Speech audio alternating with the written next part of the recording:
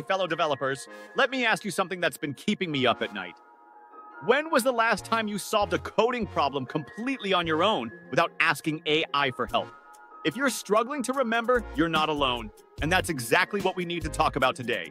Picture this it's 2 a.m., you're staring at your screen, and that dreaded red error message is glaring back at you.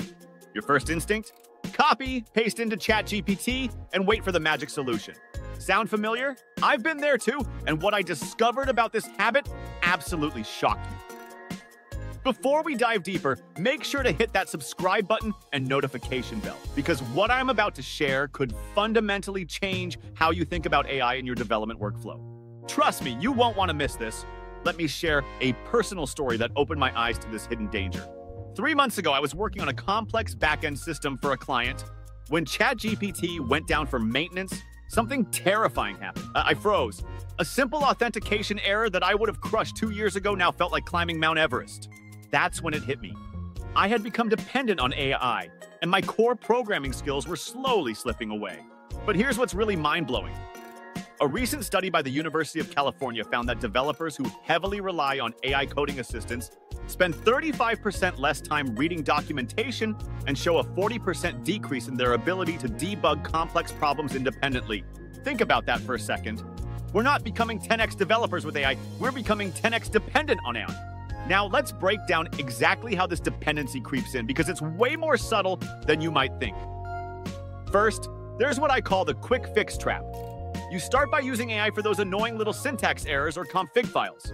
Seems hard or. Right? But soon, you're asking AI for help before you even try to understand the problem. Your debugging muscles start to atrophy, just like mine did. Then comes the documentation dodge. Why spend 15 minutes reading docs when AI can explain it in 15 seconds? I get it, it's efficient, but here's the problem. You're missing out on all those valuable aha moments that come from deep diving into documentation. Those moments are what build your programming intuition. The third stage is what I call solution blindness. You start implementing AI suggested solutions without fully understanding them. Sure, the code works, but do you really know why? This is where things get dangerous, especially when you're building critical systems. But here's where it gets really interesting. Remember that authentication error I mentioned earlier? After forcing myself to solve it without AI, I discovered three critical security vulnerabilities that ChatGPT's solution would have completely missed. That's because real programming isn't just about getting code to work, it's about understanding the implications of every line you write. Now, before you think I'm suggesting we should all uninstall our AI coding assistants, that's not the case at all. These tools are incredibly powerful when used correctly. The key word here is correctly. Let me share the framework I've developed to use AI tools without letting them erode your skills. I call it the AI Human Balance Protocol, and it's completely transformed how I work. Rule number one the 30 minute rule. When you hit an error or challenge, spend at least 30 minutes trying to solve it yourself before asking AI. This helps maintain your problem solving skills while still having AI as a backup. Rule number two the understanding mandate. Every time you use AI generated code, you must be able to explain exactly how it works, line by line. If you can't, you don't use it. This has saved me countless hours of debugging mysterious issues later. Rule number three documentation first, AI second. Make reading documentation your default approach, using AI only for clarification.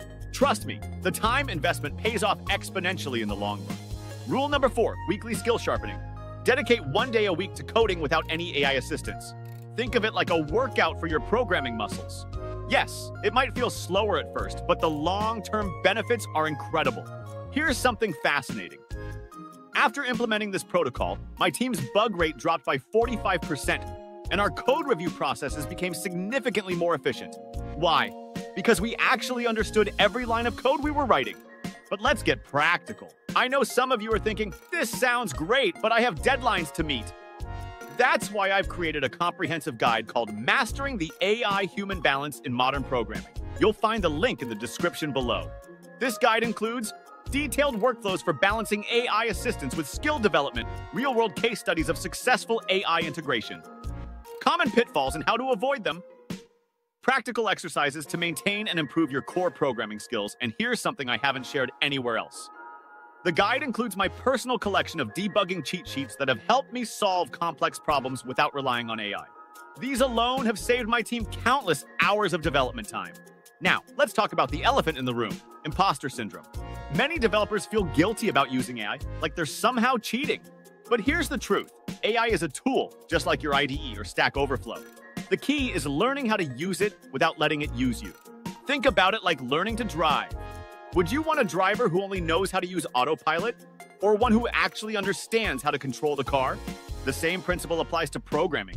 You need to master the fundamentals before you can effectively use AI to enhance your capabilities. Let me share another quick story that illustrates this perfectly. Last month, one of our junior developers was struggling with a particularly nasty bug.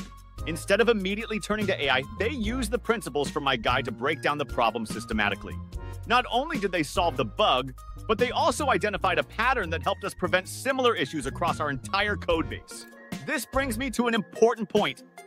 The future of programming isn't about choosing between AI and traditional coding skills. It's about finding the right balance between the two. It's about being smart enough to use AI when it truly adds value, and skilled enough to work without it when necessary. Before we wrap up, I want to address something crucial. If you're just starting your programming journey, please, please don't fall into the AI dependency trap. Build your foundation first. Learn to read error messages, understand stack traces, and debug problems manually. These skills will serve you throughout your entire career.